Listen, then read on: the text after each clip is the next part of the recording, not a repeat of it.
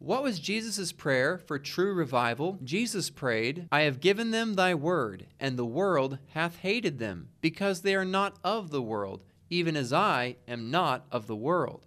I pray not that thou shouldest take them out of the world, but that thou shouldest keep them from the evil. They are not of the world, even as I am not of the world. Jesus' sincere followers are not of the world. The world will even hate us, Jesus says.